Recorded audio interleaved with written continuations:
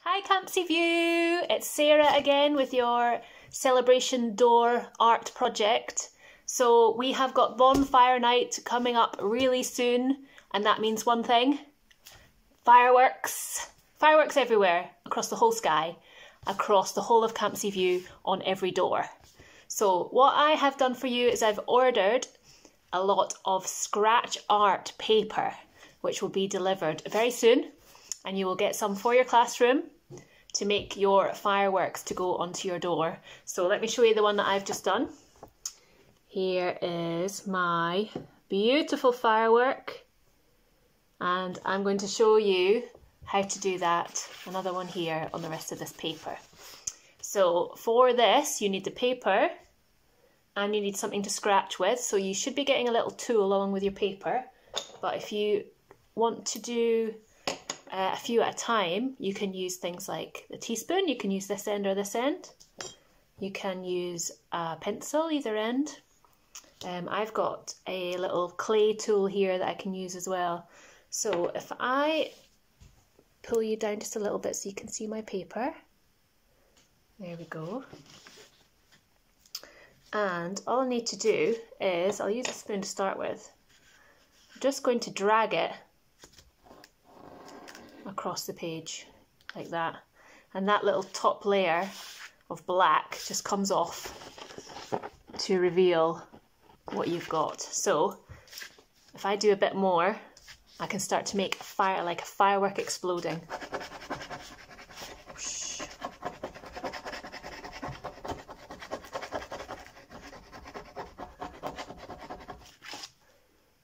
There you go, and it's revealing all the colours underneath.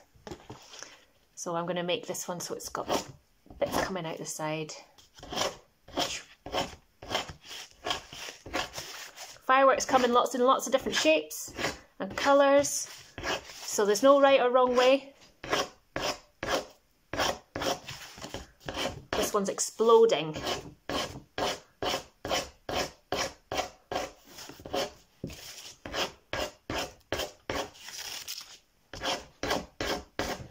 And there we go. We've got two exploding fireworks ready to go up onto our door. Now, the paper you'll get is, is this size. But if you were really enjoying this and wanted to do some bigger work or some more work, you can make your own paper. So you could do a nice big one if you wanted. So to make it, you just need some card and some oil pastels. So I have my oil pastels here.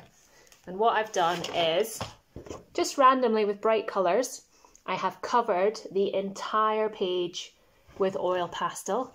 Different colours everywhere. And you'll see with this one, you don't know what you're going to get until you scratch it off. Once you've covered that whole thing, you can use just your ordinary paint that you've got in the cupboard, the ready mix and then just paint over this entire thing, leave it to dry, and that's exactly what I did for this one here. Okay, well, I can't wait to see this, and I hope you have lots and lots of fun. It's very satisfying, all the scratching to get all the colours, and you can just do whatever designs you want.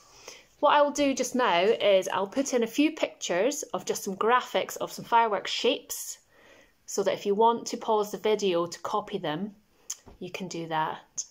Okay, have fun with this. I will speak to you really soon for the next one. Bye!